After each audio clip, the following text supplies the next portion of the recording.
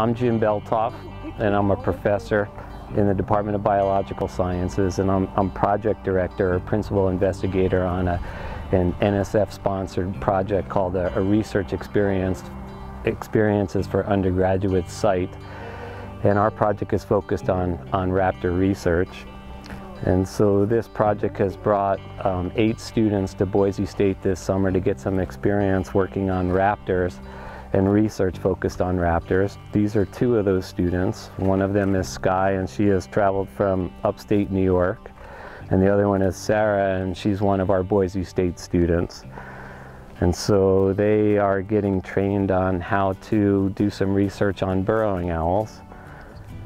And so students are coming to Boise State to learn how to be undergraduate researchers, getting mentoring from a faculty member, and then they'll have um, the opportunity to present the research projects that they're working on this summer at our um, undergraduate research conference, which will occur later on in the summer um, in the Student Union building. So the two students are, are learning how to hold the burrowing owls, how to band them, how to make measurements such as the tail measurement. So we're teaching Sarah how to measure the, the size of the bill and it's just a general measurement for how large the bird might be. We have a lot of cameras placed on the nest, nest cameras that are taking motion activated pictures and we're interested in what kind of aerial predators like hawks and falcons prey on burrowing owls and then what kind of ground dwelling predators like badgers, coyotes, foxes potentially, weasels and things like that come and prey on, on the burrowing owls or their nests. The owls will use what we call natural burrows or these artificial burrows that we have put in the ground. The way we access them is we dig down to the cover of the artificial burrow and we can remove that cover and then I can see a bird in here and so I'm going to capture that bird this is a nestling burrowing owl. It's a little over four weeks of age. It's starting to look like an adult burrowing owl from the standpoint of it's getting an owl face, it's getting bright yellow eyes, which adults have.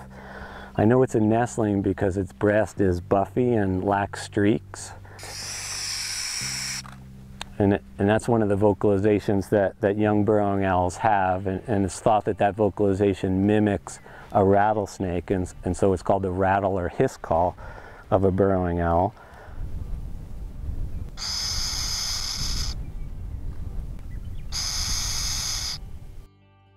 This is an adult burrowing owl.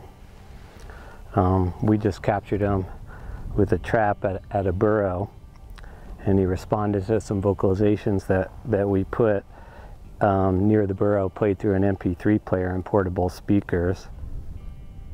We can tell that he's an adult because he has adult plumage and that adult plumage has streaks on the breast as well as brown and tan on the back and then and then fully yellow eyes. When we band nestling burrowing owls, a lot of times their, their eyes are not as pigmented yellow and they tend to get brighter yellow as the nestlings age. But we'll put an aluminum leg band on them as well as some plastic color bands that will allow us to identify them should we see them in the study area again, or perhaps someone in, in California or elsewhere where these birds winter might sight them on the wintering grounds, and then we can have some information about their movement patterns.